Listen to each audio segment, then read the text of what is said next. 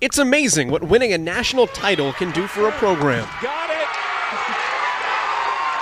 We have a new national champion in 2010. The 2010 FDU Knights winning the NCAA crown with seven players from New Jersey and one from New York, Maryland, and Pennsylvania.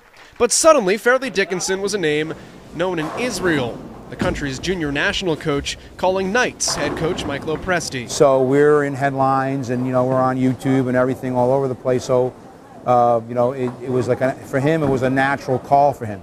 Try to search out the number one team. Liat Vizenfeld, the bowler he was pitching to FDU. I just knew it's the best team here and I want to be in that team. And that's it. There was no way that I could go fly to see her play. So everything was going to be video. You know, when I got the video, we were blown away. But the process of getting Liat from Israel to Fairleigh Dickinson wasn't exactly easy. Was quite a long and winding road that actually began on Thanksgiving Day when Mike Lopresti got a little bit of an unexpected phone call. And I look at the uh, ID on the phone, and there's like 20 different numbers on it. So I'm like, like who's calling me on Thanksgiving? And it's Liat's father. I discovered that they were in New York and they wanted to come visit the school. So somehow they were able to get to the United States on a, on a trip on their own. And of course I had to explain to them, you know, sir, this is Thanksgiving, it's a family holiday. I don't think I could, you know, show you around campus today, but I, I might be able to fit it in tomorrow. I met coach and my parents and me talked to him. And it was very excited experience for me. And from that point on, it was like, okay, this is it. They basically, basically verbally committed to us right at that moment.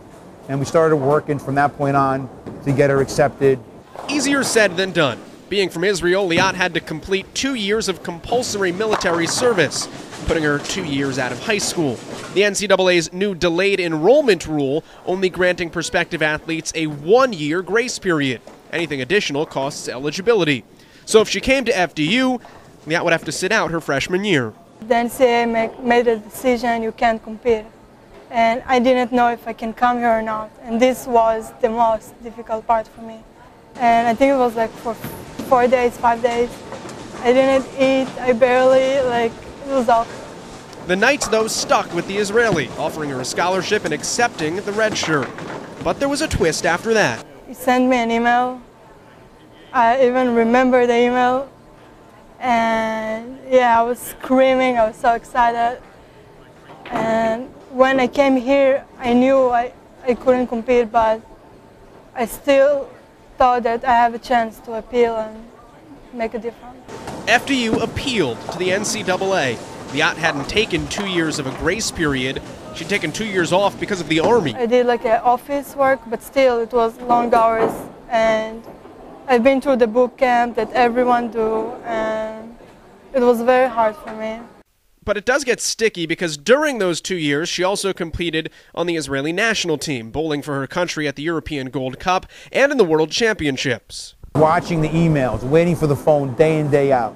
And I, to me, you know, I accepted it that we were just going to wait. But for Liat, it, it, had a, it was destroying her. I remember during practices, every time coach got a phone call, I was like, and it didn't help. Eventually, that call came, November 16th, as a matter of fact, two days before a competition. I picked up the phone, and it was like, I have a bad news for you. And I was so used to that sentence, so like, what now? Like, and then it was like, pack up your stuff, you can go. And I couldn't believe it. I thought he's kidding me or something. Now, she has all this bowling equipment in Israel. You know, it costs thousands of dollars to, to have ship all her, her equipment over. And if she wasn't eligible, we were going to have her buy equipment and we're going to help her get equipment for somebody who wasn't going to be able to play. So we just got the bare minimum.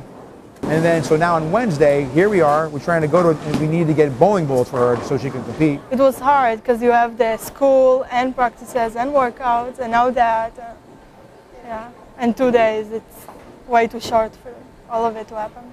Liat made it to Delaware for the UMES Hawk Classic, a full fledged member of the Knights, with potential to grow into much more. Unlimited.